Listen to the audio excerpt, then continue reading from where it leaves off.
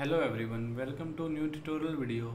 In this video, I will show how to remove lock screen pin password or pattern on Galaxy S24 FE.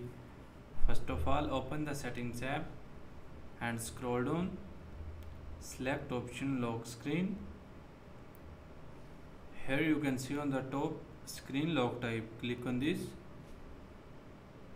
From here, enter your current pattern so you can see four option pin password pattern or swipe. So if you want to remove lock screen pin password or pattern then we will simply click on none option. No we click on none option. From here you can see that our pattern is removed by applying this method, you can easily remove lock screen pin password or pattern on Galaxy S24 FE. Hope so you like this video. Thanks for watching.